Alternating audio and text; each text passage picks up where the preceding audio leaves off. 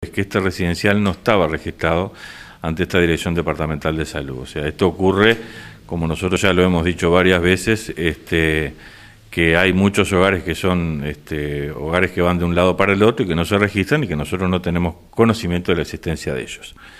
Nosotros habíamos tenido una denuncia de ese hogar hacía cinco o seis días antes, por lo tanto fuimos a, a inspeccionarlo, se llegó, este, se hizo la inspección correspondiente, se le hicieron todas las observaciones y se lo intimó a que empezara a regularizar toda la, la, este, la documentación. Este, posteriormente a ella, a los pocos días, hay una, hay una segunda denuncia, este, y bueno, en este caso ya entra la justicia. Yo lo que quiero aclarar es que esto es, es, es este, consecuencia de una acción judicial. Este, y por lo tanto, bueno, el juez considera que el hogar eh, debería cerrarse y lo pasa a la órbita nuestra. Y bueno, actuamos nosotros eh, haciendo la clausura y bueno, en principio lo que hicimos fue trasladar a todos, porque eran todos pacientes psiquiátricos, este, trasladar a, todos los pacientes al hospital para que sean evaluados, este, que se les haga un peritaje y bueno, ahora estamos esperando este, la, información de esta evaluación. A mí me gustaría decir algunas cosas, digo, pues yo creo que son importantes. Este, el, tema residencial de ancianos es un tema social muy severo y muy complejo. Y, y, a veces es importante, digo, la, la, digo, lo que los familiares puedan hacer. Yo digo, si tengo un familiar en un residencial, tengo que ir y verlo. Eh, y si no, se viene y se denuncia en la dirección departamental.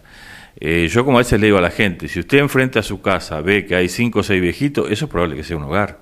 Vengan y denuncien. Eh, si no, nosotros como dirección no tenemos cómo saberlo.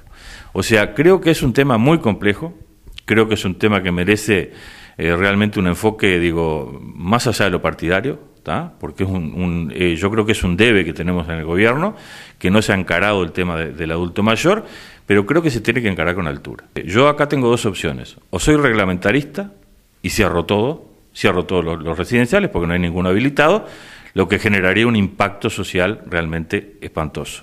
O por otro lado, que es la opción que nosotros defendemos, bueno, vamos, este, inspeccionamos, hacemos observaciones, volvemos a ir y de esa manera intentamos mejorar la cosa. Leía por ahí aproximadamente 5.000 adultos mayores eh, en este tipo de situaciones se presentan en el departamento. ¿Cuántos hogares habilitados hay por acá por parte de la Dirección Departamental de Salud? Mira, yo te diría que, es decir, hogares, porque una cosa es un hogar y otra cosa es un residencial. ¿ta? Hogares cuando es sin fines de lucro, acá tenemos solo dos en el departamento, uno que es el Juan José Burgos y el otro que está en Río Branco. En el caso de estos dos ya están muy, muy este, avanzados y prácticamente están en, habilitación. De los residenciales no hay ninguno habilitado. ¿ta? Este, los tenemos con observaciones y este, están, están este, en, las, en las etapas de observaciones y todavía no tenemos ni uno habilitado, porque no, no podemos dar esta habilitación porque no cumplen con las condiciones.